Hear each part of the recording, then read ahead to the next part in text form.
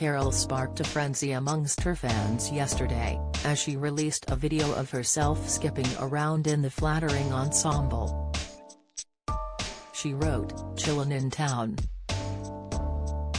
My first visit to at Beaverbrook Townhouse. Ooh just chillin'. It's so sumptuous I felt like skipping. Happy days.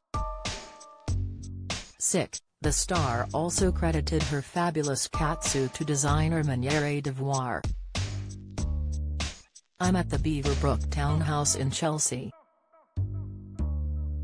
It's so beautiful here, I think I might stay all day, the Channel 4 legend added in a video message, before playing some footage of herself having a ball in the boutique luxury hotel.